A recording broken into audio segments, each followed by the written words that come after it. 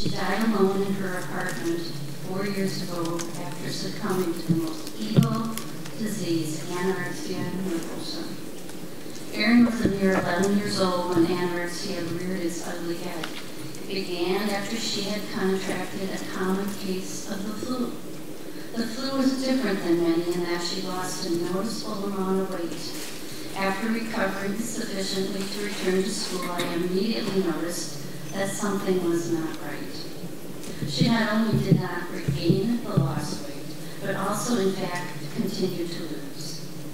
When encouraged to eat, she would report, it's not that I don't want to eat, no, I can't eat. Our once happy daughter, who had many friends, was no longer the Aaron we knew. Aaron's primary MD told us not to worry. Many doctor visits followed with little progress. Eventually, we were given a referral to the best eating disorder specialist in our city. Many more doctor visits followed before it was evident that inpatient hospitalization was necessary to treat Aaron's eating disorder. Unfortunately, the only treatment available in our area was a general psych unit, um, where no 11-year-old should witness what she was privy to of the older adolescents and teenagers. Years later, this experience she endured at such a young age was recognized as a source of PTSD, which resulted in treatment resistance. Despite the experience with the psych unit, somehow Aaron and our family made it through grade school and through high school years. We made it through with the support of continued and constant, constant vigilance with a team of treatment providers. Along the way, a handful of local inpatient admissions were required.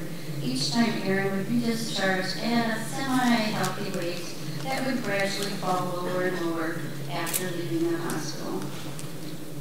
As Aaron grew older, she isolated herself more and found solace in running cross country and track, ultimately receiving a cross country scholarship to Vanderbilt University in Nashville, Tennessee. Within five weeks of arriving in Nashville, things once again started to deteriorate. Aaron did not pass the athletic physical the recruiting coach had assured her she would. In addition, the coach instructed the other team members not to associate with Aaron. She now had no athletic family and quickly became depressed. The university had nothing to in place to counsel or support those with eating disorders. Our only choice was to have Aaron drop out of school and be admitted once again for treatment. But where? Our treatment resources in our home state had not been successful thus far. We decided we need to search for an out-of-state provider.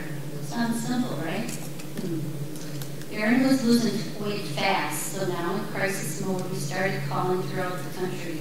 The process of securing eating disorder treatment is a daunting one. Where do you start? Neither the university nor our local physicians have the resources to advise us. So the internet became our vast resource. We began searching and calling for treatment centers as precious time ticked quickly away. Then we endured interviews by intake workers. We were interviewed. Aaron was interviewed. Then Aaron was put on a waiting list. My husband and I constantly worried about how we would keep our daughter alive until an opening appeared at our chosen residential treatment. Our local community had no medical expertise in the medical management of anorexia nervosa. This is a common problem to this day. Finally, got the call that the bed was available at a treatment center. So off we went from Wisconsin to Arizona. Problem solved? Only the beginning. Our daughter was thousands of miles away. How does the rest of our family survive, both emotionally and financially, with the daily crisis that appears when a child is in a life or death situation? We remortgaged our house asked for a leave of absence from work and hoped that one parent could stay in Wisconsin to keep the family afloat while the other handles the daily management our, of our daughter in Arizona. While we were now heaving a sigh of relief that Aaron was in treatment, we were also unaware that anorexia nervosa is insipid, and this was only the start of 17 years of inpatient, outpatient, and back to inpatient treatment. We were always searching for the treatment that would last.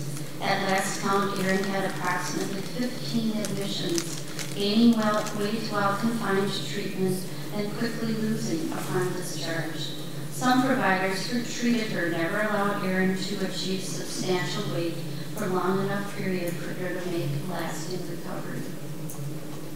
Health insurance was another full-time job as we proceeded through our nightmare. After admission to treatment, it was determined that insurance would not pay for out-of-state providers. But it appeared that eligibility depended on whom you spoke to at the insurance company.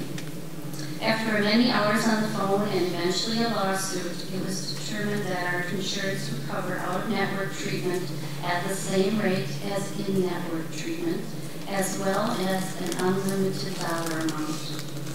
While resolving this issue, we paid out of pocket approximately $100,000. How many families would have the capability to do that? When our daughter reached the age of majority, another problem arose. The nature of this awful disease causes patients to deny the reality of the fatal consequences of the disease it became evident that legal guardianship would be necessary to remain in communication with Aaron's health care providers. Aaron fought this in every possible way. One Wisconsin provider enacted a Chapter 51 state guardianship of our daughter, then proceeded to look the other way while she was sent to a local academic hospital that had no eating disorder protocol for medical stabilization. The state of Wisconsin then tr transferred her to an affiliate hospital with that with a psych unit that, you guessed it, had no eating disorder specialists on staff. As this transfer of hospitals was occurring, I stepped in to advocate for our daughter, for sending our daughter elsewhere we had the insurance coverage, and by this time, I had come to know many good out-of-state providers. The hospital chose to call security while I calmly got on the phone to address the issue with her not to be found manager, case manager. Evidently, this call was not happening fast enough as security arrived and in indicated that they were going to call the county sheriff my thought was, good. That'll, take some time, you. Anyway, no such, such luck. The county sheriff arrived promptly and told me if I did not cooperate and allow the transfer, transfer I would be arrested. My reply was, go ahead, arrest me. This is my daughter's welfare we're talking about. At that point, the county sheriff produced a legal order that our daughter must be transferred. I had no choice but to follow the ambulance that would take Aaron to yet another disappointing treatment outcome. After that harrowing experience, we discovered that accurate legal information was very hard to obtain. It appears that each state has its own guardianship laws. At last count, we had obtained temporary guardianship in two states, which did not include the state where she died. All of this cost thousands of dollars in Aaron's life. In fact, Aaron's death was directly related to non-communication of her treatment team to each other and to us as her parents. It is our opinion that a uniform federal guardianship act is essential. Aaron's story only touches on some of the issues that surround the treatment of eating disorders. There is no wonder why the death rate is the highest of any mental biological illness. Our daughter never dieted or in any way knowingly precipitated the onset of anorexia nervosa. It appeared and took on a life of its own. The need for research dollars is evident, along with the federal policy to ensure every young man and woman that falls prey to this disease has every chance to, just to recover. Our family began its journey through hell in 1993. Then, since then, we have met an extraordinary number of families fighting the same battle.